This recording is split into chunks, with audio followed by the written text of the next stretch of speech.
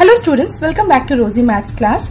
Today we shall learn how to represent square root of 11 on number line. So for this you need a ruler and a compass. You can use a protector also. If you have seen my other videos, I have used a protector. Here I am going to use a compass to draw it. Okay, so a ruler and a compass is sufficient. Now first you take your ruler and draw a line of any length. Draw arrowheads like that Mark a point 0 here. So this is 0 as well as you can call it point O. So point O is 0. Now take your compass and any length here that will be our unit length. You don't have to measure it. You can take any length here. Keep the metal point here and you make 3 arcs. Cut 3 arcs from this point. So we will cut 3 arcs. 1, two, three. If you want, you can cut an arc this side also. However, this is not required. Now we will label this as one, two, three, And this side is negative 1. Okay. Now this point here, label this point as A. So this is O and this is A. Now at A, we have to draw a 90 degree angle. For that, we are going to use a compass if you want, you can use a protector also. Keep the metal point here.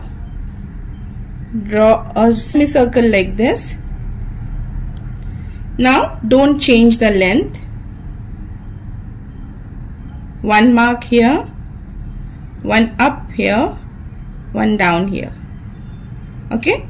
Again, the same length and so we are getting a point of intersection here. We are going to join this point and this point.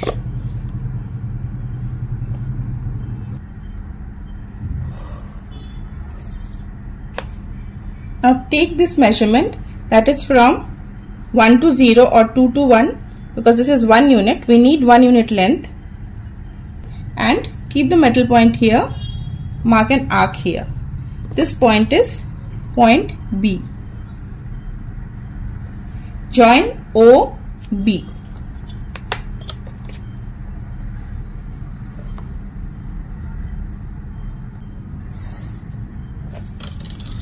So this length is 3 units. 1, 2, 3. This length is 3 units and this length here is 1 unit.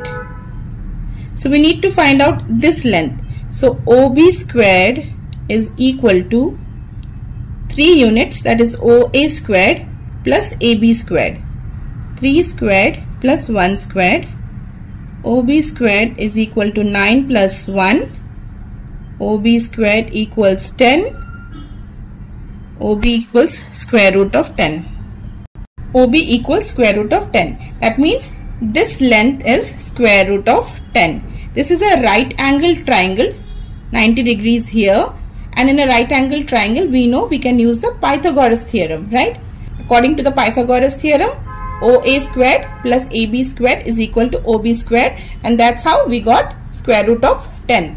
Now using this as the base, we are going to draw one more perpendicular here using our compass. So take your compass,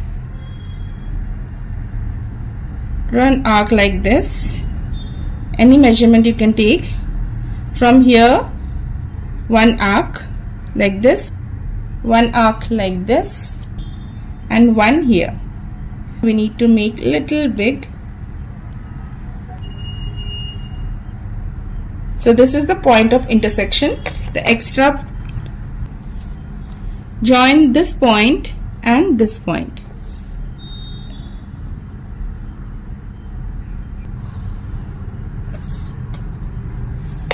Now take one unit length from here.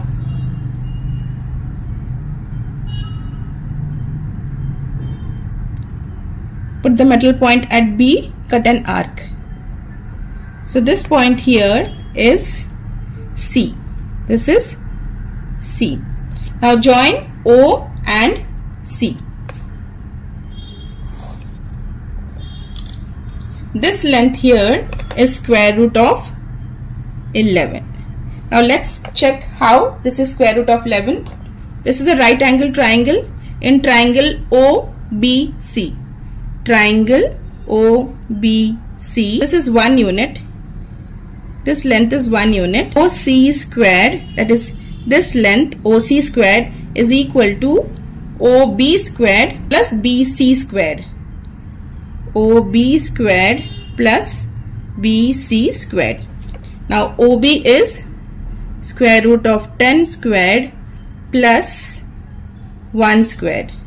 So square root of 10 squared would be 10. 10 plus 1.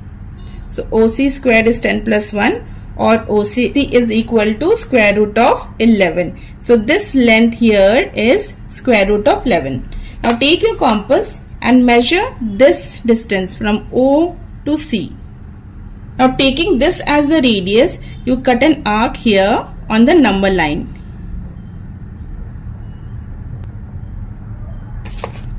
This point here represents square root of 11. Let's say this point is point Q.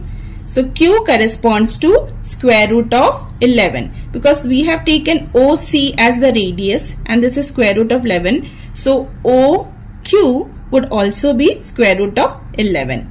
So this is how you need to represent square root of 11 on the number line. Hope you find this video helpful. Thank you.